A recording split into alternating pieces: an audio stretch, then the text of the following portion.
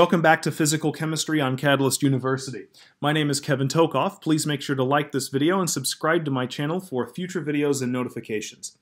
In the previous video, we discussed the derivation of both the Clapeyron equation and the Clausius-Clapeyron equation, which comes from the prior.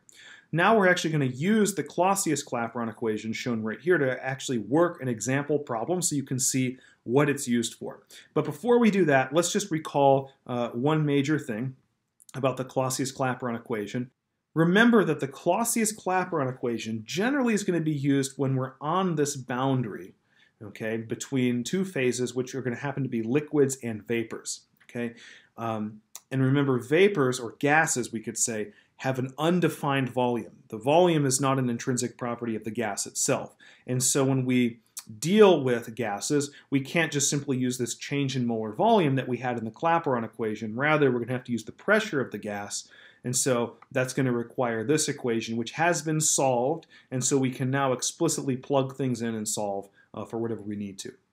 All right, so again, here's our Clausius-Clapeyron equation. The natural log of P2 over P1 is equal to negative the molar enthalpy of vaporization divided by R times the quantity 1 over T2 minus 1 over T1. And we want to do two things. We want to calculate the enthalpy of vaporization. That's generally what this is going to be used for. And then calculate the entropy of vaporization. So let's look at our problem. All right, so the normal boiling point of benzene is 353.2 Kelvin. And the vapor pressure of liquid benzene is 1.19 times 10 to the fourth pascals at 20 degrees Celsius. Now this is obviously going to be one equation where we're going to have to convert the Celsius quantities to Kelvin.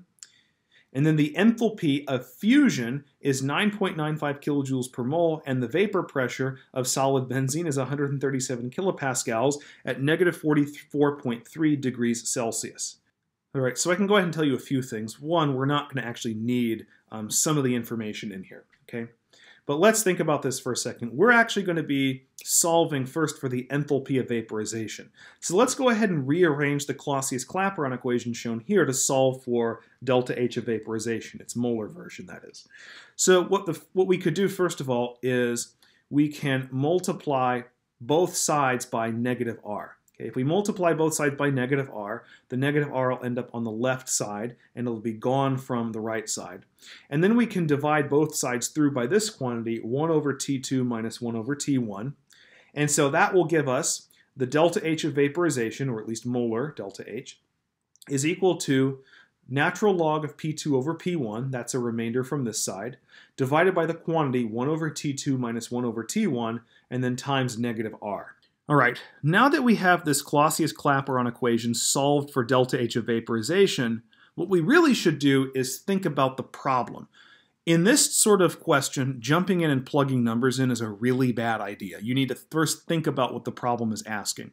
We're asked to calculate the enthalpy of vaporization. The key is the word vaporization.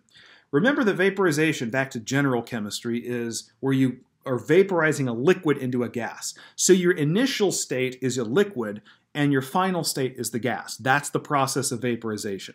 So all of our initial states are ones, T1 and P1. Those would correspond to the liquid. Those are properties of the liquid since that's our initial state.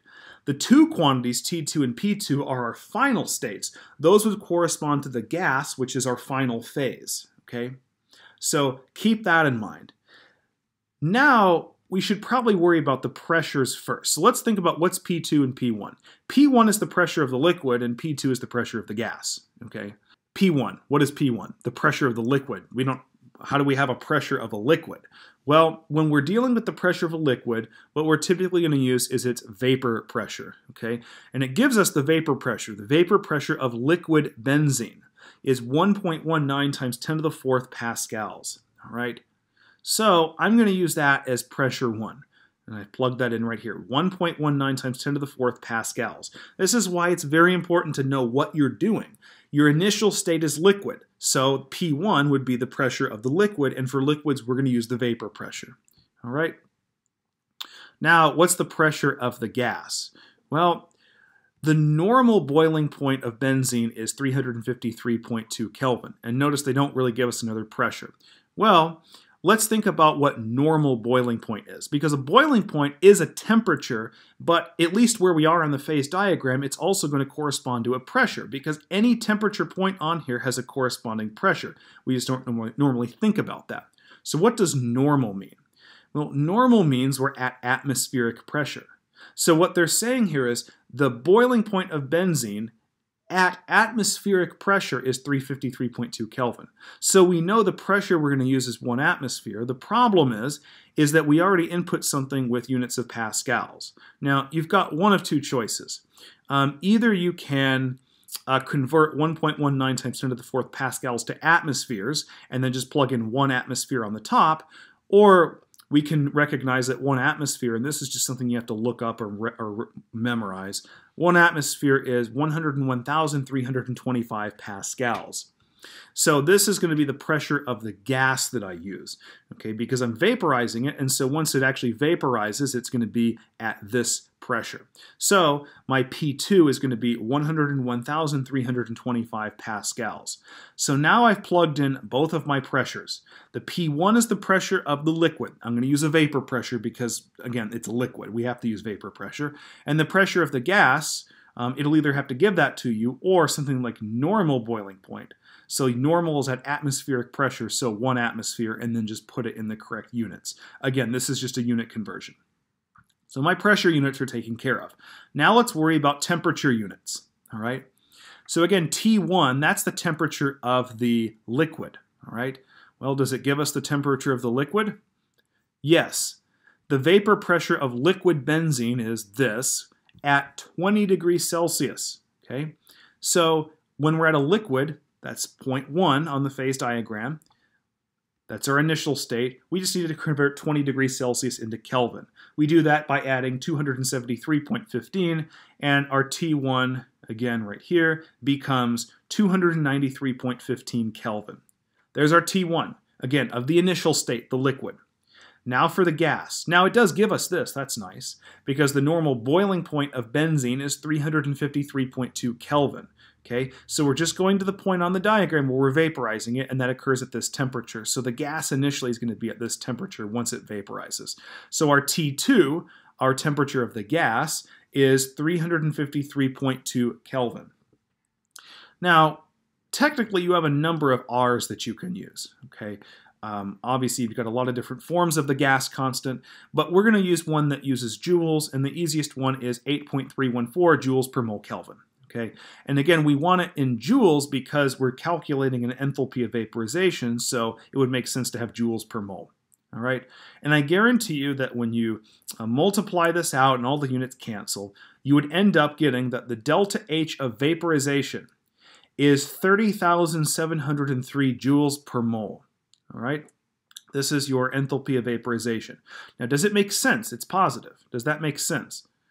Well, yes, because we're having to put energy into the system, heat into the system in order to vaporize it from a liquid into a gas. Okay, if we were going the reverse direction and going from a gas to a liquid, that would be condensation. Then this would be exactly the same uh, number, but it would be opposite sign because you'd have to take energy out in order to cause it to cool down to into a and condense into a liquid. So this makes sense being positive. Now, in some cases, it may be appropriate to convert it into kilojoules per mole. Sometimes a professor might like this better. And considering I don't, I'd rather avoid scientific notation and to put three significant digits here because that's how many I have based on the problem, I could divide this number by 1,000 and my enthalpy of vaporization, that is molar enthalpy, will be 30.7 kilojoules per mole. Okay, so again, this is not really a super complicated problem, but you just have to think about what it is you're putting for what variable. Again, you could pretty easily flip these pressures or flip these temperatures if you're not careful. You have to know what the initial state is and what the final state. But assuming you understand that, the actual calculation is not difficult. Um, it may just require some algebraic manipulation.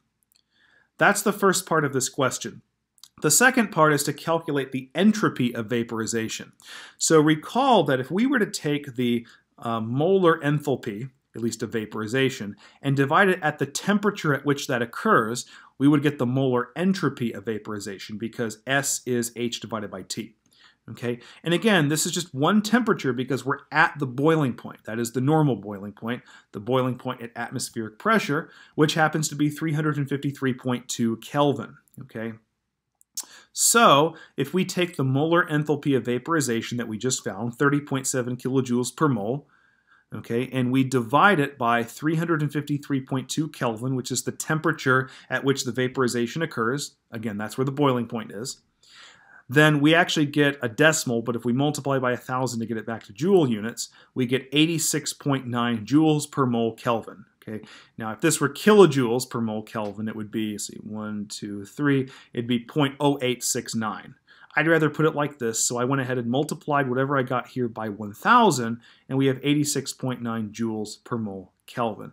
And this number with the units is the entropy of vaporization. Okay, so some typical problems that you would have using the Clausius-Clapeyron equation would be to determine the enthalpy of vaporization and or the entropy of vaporization, okay? But in order to calculate the entropy of vaporization, you actually have to first calculate the enthalpy of vaporization, which is why I put that first. This one comes first, and then the entropy comes next, all right? So, again, the major thing about this is just setting up the problem correctly, knowing where each variable goes. Is it the initial state or is it the final state? Initial temperature, final temperature, whatever. But again, the actual calculation is not that difficult. All right. Please make sure to like this video and subscribe to my channel for future videos and notifications. Um, we'll do some more phase diagram videos later on in this playlist. Thank you.